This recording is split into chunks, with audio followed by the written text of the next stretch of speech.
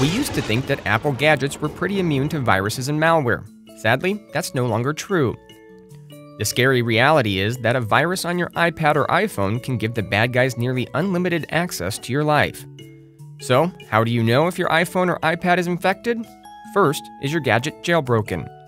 A jailbroken device is more vulnerable because you can download stuff from unverified sources. If you have an app from a third party that is acting glitchy, you might want to consider restoring your device to factory settings. To do this, first use iCloud to back up the device.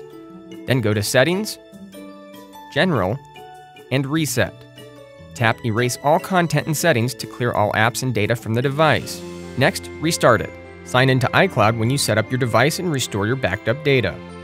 If you don't think resetting your device worked, you can always take it to Apple's Genius Bar they have system scanning software that detects and removes any hidden files. For Komando.com, I'm Rob Martin.